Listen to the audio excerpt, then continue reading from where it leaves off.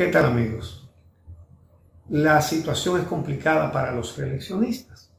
Se ven patidifusos, confundidos, y solo hay que ver las declaraciones de Gustavo Sánchez, vocero de los diputados del PLD y de la cuadra de Danilo Medina, sobre aquella llamada que hizo Mike Pompeo, el secretario de Estado de los Estados Unidos, al mismísimo presidente Danilo Medina. Según Gustavo Sánchez, el Congreso debe proclamar la independencia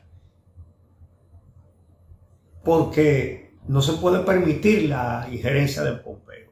Pompeo, por su parte, no defiende la democracia. Por ejemplo, está el caso de Mohammed bin Salman, príncipe de Arabia Saudita, que cometió uno de los crímenes más horrendos contra un periodista saudí que escribía en el Washington Post. Y Pompeo y Trump le siguen vendiendo armas y teniendo buenas relaciones con él. Si Danilo Medina no hubiera restablecido relaciones con China, Pompeo nunca hubiera hecho esa llamada.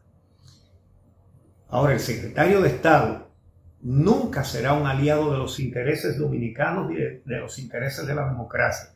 Aunque en este caso hay que admitir que coincide con los buenos ciudadanos de este país que quieren salir de un régimen que tiene la justicia secuestrada para que la corrupción siga campeando sin freno.